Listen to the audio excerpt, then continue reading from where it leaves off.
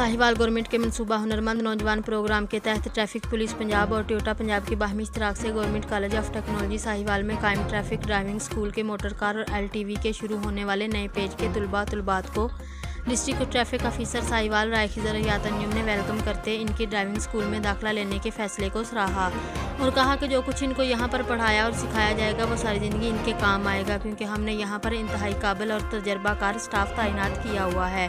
जो कि इनको ना सिर्फ़ ट्रैफ़िक कवानी रोड साइंस गाड़ी के मतलब मुकम्मल मालूम देंगे, बल्कि ड्राइविंग भी सिखाएँगे, ताकि वो एक अच्छे और माहिर ड्राइवर बन सकें। लिहाजा लोग अदारे के डिसिप्लिन को मद्देनज़र रखते हुए मेहनत के साथ सीखें, ताकि जब मैं आपका इम्तहान लूँ तो पास हों।